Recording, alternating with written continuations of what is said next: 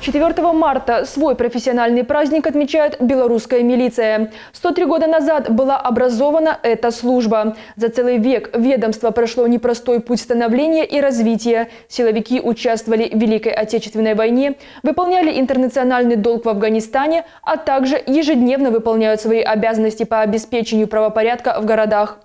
Районный отдел внутренних дел Солигорска был образован в 1965 году. Буквально полтора месяца назад солигорские стражи порядка встретили свой 55-летний юбилей.